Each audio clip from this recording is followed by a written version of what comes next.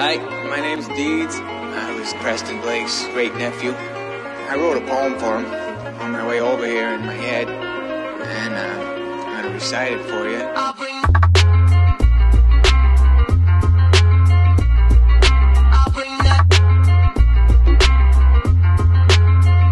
In times of insanity, I wear a scary mask to disguise the pain that I carry in my eyes. To mask all the misery I hide. Rebel with my dignity and pride